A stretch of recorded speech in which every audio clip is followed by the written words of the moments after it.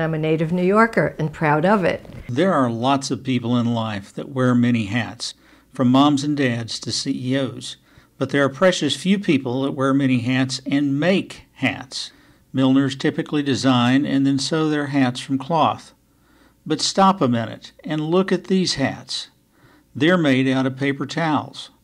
Viva paper towels, to be specific. And they're made by a New York diva. Meet Deborah Rapoport. Sometimes I get called a diva, and that's that's kind of fun, you know, for someone who was so shy as a young as a young girl. I'm part of a movement called Advanced Style, which Ari Seth Cohen started in 2008, and I met him in 2009.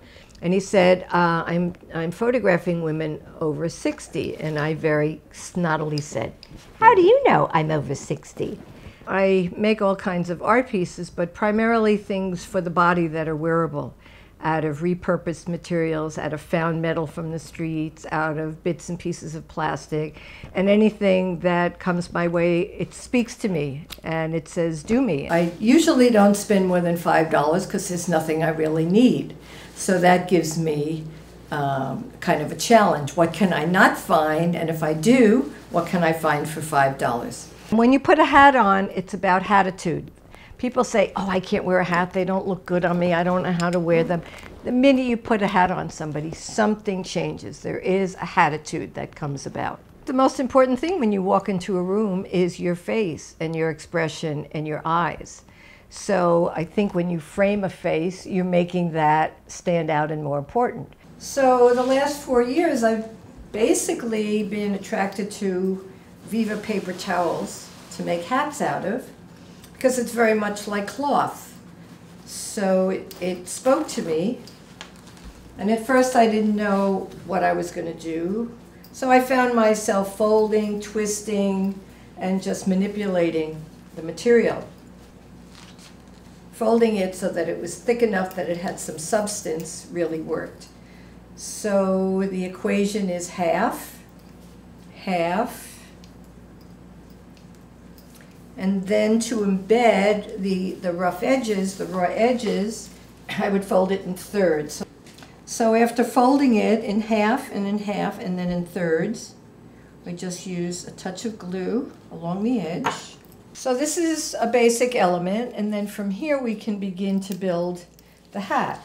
So the first thing you're going to do is measure it on your head, right above the ears, because that's usually the widest part and we begin to build a cone shape where each one becomes smaller and smaller inside.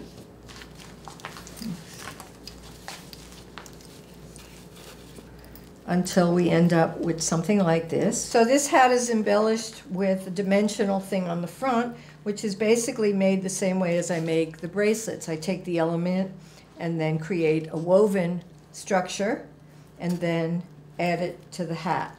As Deborah will attest, following one's own truth and trusting that all will be well leads to a path with detours and bumps along the way.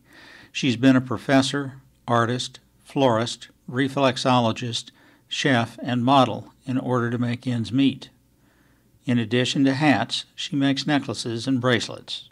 This is made from found metal. This was made from the early, in the early 80s when I could find metal in the streets of New York that had been patinaed and run over with wonderful texture. Friendship is another thing that's most important. And at this point in my life, that's mostly what I spend time with. I have a lot of under 30 friends, I have a lot of over 70 friends. We do a lot of get togethers, parties, exchanges, workshops, because that's really where the pleasure is. It's been a good ride for Deborah Rapoport. She has many friends. Her inner compass has steered her along to the point where she's become a New York style icon and a model in her 70s. She no longer has to worry about making ends meet. She frames faces, and she does it like no one else.